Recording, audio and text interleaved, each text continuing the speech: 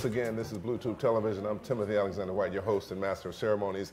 And today we are getting the opportunity to talk to people who have come on Festival at Sea for so many years. And Pastor Darryl Armstrong, he's been our pastor here, and he's been coming from quite some years. And he's sitting with me today. Pastor, it is so good to see you again. Always. Shake. How are you doing? How are things going? Listen, uh, things are going well. Church is going well back Good. home in Trenton, New Jersey. Um, I, my daughter just graduated from junior high to high school. So, Okay. Like most fathers, I gotta I gotta dust my, my bat off and make sure the boys are put in line. But uh, we're doing well. The kids are great. Uh, my son's going to eighth grade, and um, daughter's going to ninth grade. So Now, your church, it's it's a historical church, or is it you're the third pastor in like hundred years? The church itself is 130 years old, 1880, the Shiloh Baptist Church of Trenton, New Jersey. Uh-huh. You- everyone is always welcome. If you're between New York or Philadelphia, come on out to the Shiloh Baptist Church. Check us out on YouTube or Facebook, uh, www.shilohtrenton.org. Right. Um, 130 year old church. We founded in 1880. And You weren't the first pastor. I was not the first pastor, uh, but from 1904 to present, we've only had three pastors. Three, okay. So the Reverend Dr. John White was there from 1904 to 1946, so 42 years. Uh, my predecessor was there from 1946 to 1999, 53 years. So in, nine, in a span of 95 years, I only had two pastors. Okay. And then in the last 100 and some odd years, I'm the, the third pastor. Now, what is the size of your congregation? We obviously there's a paper church and a real church, as Right. they say. So we are about 2,000 on paper, um, about 1,000 active. Okay. Yeah. Okay. Yeah, Okay. So not a mega church, not a small church.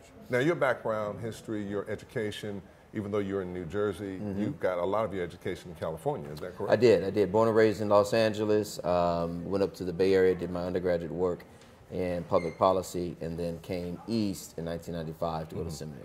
So my um, my my elementary, I mean my um, primary, secondary, and undergrad work is in California. So, when did you start being a pastor?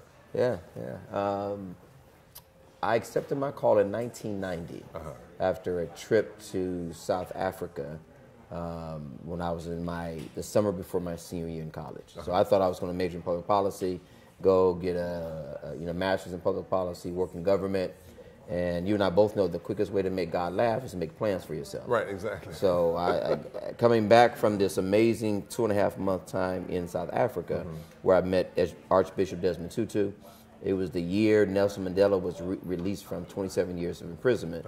So it was an amazing year to be in that country. Right. And um, coming back from that experience after two and a half months, I said, Lord, I'm about to go into my senior in college. I, I gave up something, you know, to, to do this trip, this mission trip Right. um, why why did I do this? Why did you have me do this? And so I really believe at that point, God said, "Hey, let go of what you want, follow what I want for you." Okay. And that's why I accepted my call. So that's, that was 20, uh, you know, 20, 20, 30 something years ago. 30 some years ago. It's a tough job, isn't it, pastoring people? The the toughest part of being a pastor is dealing with families in their most traumatic experiences. You know what I mean? So, um, and a a lot of that has to do with death. And so, when I have to bury someone's child, um, bury someone's husband or wife after a- an untimely death, Right, right. we know that the 96 year old senior saints who lived a full life and they're just on their way to get their wings, that's a different kind of homegoing celebration. But when it's a, it's a traumatic loss, gang related violence in a city like Trenton, although it's not an urban, uh, it's an urban context, it's not a, a, a, huge city, it's only 80,000 people. But it is. It has all the issues and uh, of a, as a microcosm of Los Angeles, Philadelphia, Chicago. Okay. So you deal with urban violence, you deal with gang violence, you're dealing with untimely death of youth, of youth. Um, and, and that's for me been the tough, toughest part of that. So, you do work in, in, in a sense, in government. I do. City government. I do. I, I of work. Trenton, I work closely with city uh, officials at the municipal, county, state, and federal level. The congresswoman for our congressional district, she's a member of our church. Okay. The Honorable Bonnie Watson Coleman. Um, the state senator for our state district is a member of our congregation, and the ma- former mayor of the city of used to be a member of our congregation. So our congregation um, does have a hand in civic affairs. My predecessor, uh, the Reverend Dr. Woodson, was the first uh, speaker of any state legislature in America. back in the 70s. Okay. So um, I followed a into the shoes of a um, clergyman who bridged that divide between church and state. Okay, Yeah. okay. So we were talking off camera just a little while ago about, you know, when you look at what goes on, or what's going on in our uh, country, our Mm-hmm. society, in the world, you know, back when you first, you know, accepted your calling, you know, you, we see things Mm-hmm. a certain way, but then we always have to sort of align things up from a spiritual standpoint of Mm-hmm. what God is talking, what God is saying, what God is speaking about. Do you see that these days are people migrating towards their religious beliefs, or do you see people spreading away from their belief system? And you know, it's tougher now to get people to accept Christ, accept God in Yeah. their lives. Do you Yeah. see a It's a great question, and, and here's what I my my immediate response uh, quotes and cites the work of the American Theological the Association of Theological Schools (ATS), which is one of the leading accrediting body for schools of religion, schools of divinity, so forth and so on. They have said um, uh, unequivocally that the the the the demise of mainstream Christianity is what we're witnessing right now. So, as mainline churches, your Methodists, your Lutherans, your Presbyterians, your Episcopalians, your Baptists, those denominational structures are declining. And what is increasing are non denominational, congregational, congregationally based, um, almost kind of sporadically uh, popping up uh, houses of worship that are founded and started um, almost in a Pentecostal tradition. So most schools of religion and or theology will acknowledge that they see they have seen a uh, precipitous decline in the number of applications to schools of religion because this kind of organic grassroots movement of Christianity is more Pentecostal. It is less formal. Um, and it makes sense with what's going on denominationally, right? We're in I, we're, we're, we're way past my generation, right? Right, Gen right, right. X. Yeah. Uh, we're now into Gen Zs, Gen iGens, Gen Ys, and their tolerance for structures um, is much different than ours, right? And so they're not looking to go into structures and formal. They want this indigenous mo- uh, indigenous movement of, of faith, and so they will not. Rarely will you hear this generation say, "I'm Christian." Many of them will simply, "I'm, I'm spiritual." Right, right? I've heard that. I've I'm spiritual. that. Yeah. And, and that's a very clear statement mm-hmm. that they are rejecting the formality mm-hmm. of mainline Christianity or even mainline structures, not only within Christianity. The same is true in Islam, and the same is true in other formal structures, even kind of non non Christian structures that mm-hmm. we, would, we might have a, a question about Jehovah's Witnesses, Mormons. Um, if, there, if there's a formality and a structure to it, this generation is rejecting that. I see.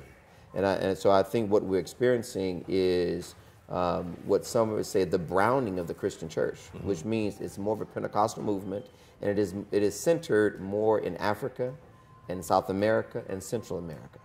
And, and so what is now happening is that mainline Christian organizations um, and denominations are having to re, rekindle and retool themselves Well, say, how do we reach? that. I was going to ask you How do we that reach as a pastor. this?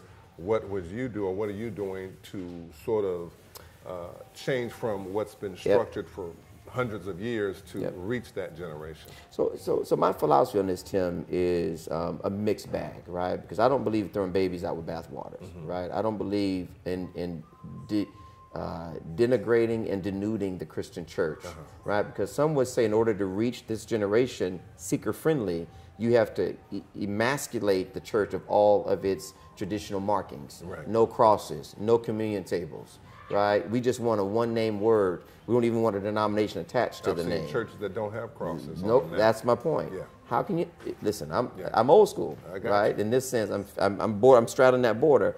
But for me to have a church with no cross, for me, is almost sacrilegious. Uh-huh. But it is appealing to this generation. Exactly. And those churches and those structures are seeing the rise of mega churches. And I'm asking myself, is this a movement? Does this portend the constant reality that is talking about in Scripture about we will heap up for ourselves folk we want to hear, That's right. as opposed to hearing folk who are sent with a message Well- that doesn't buy into kind of uh, the watering down of the Christian faith. And being old school like that, now I'm old school too, Mm-hmm. but does it matter a great deal? I'm just saying that if the building doesn't have a cross, but God's word is being, Yeah, You yeah. And, and so that is the counter, right? So how much emphasis do we place on structures and buildings? Right, right. Uh, because many of these non-denominational churches are popping up in factories Mm-hmm. that can, they can turn on a key, open it up one day, and turn it off the other day, which simply says the building isn't what's important. What's going on in the building Right. is what's most important. And that I will always, I will always hold that up. yeah. Right? And Because God's word is what's going to last. because what, what happened to the Jews in, in diaspora when Daniel and Hananiah and Azariah and Mishael, that period of Jewish history was the, was the moment when synagogues arise. Mm-hmm. What are synagogues? Synagogues are no longer based on temples Right. and tabernacles. Right. Synagogues are based in the gathering of God's people. So whenever you had 10 families, 10 men Mm-hmm. with their families gathered together, they constituted a synagogue. Yeah. And they had to do that because they couldn't get back to the temple in Jerusalem. Mm-hmm. They were in Babylon. So how do we keep our faith in Babylon when there's no building?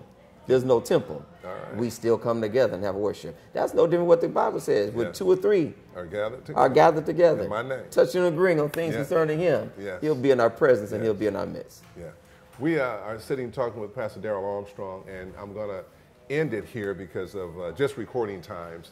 Uh, but one last question. Uh, very knowledgeable young man, very well informed, and I really love your style. Thank love you sir. like a brother, man. I've always love you respected like you and love to hear you speak.